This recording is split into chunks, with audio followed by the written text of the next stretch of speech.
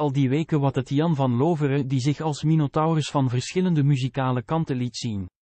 En dus niet Alex Agnew of Helmut Lotti. Die laatste werd vorig jaar ook al verdacht bij Edelhert. Net als vorig jaar was Helmut niet blij dat zijn naam genoemd werd.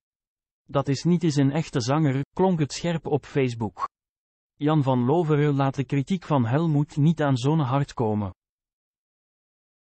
Och, ik ben er niet mee bezig wat Helmut van Minotaurus vindt, ik laat het voor wat het is, zegt hij in dag allemaal. Ik wil die mens daar ook niet mee lastigvallen. Hij houdt niet van dat soort programma's, denk ik. Niet erg.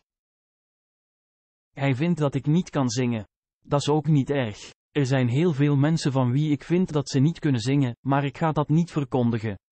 Laat iedereen maar doen in zijn leven waarmee hij zich amuseert.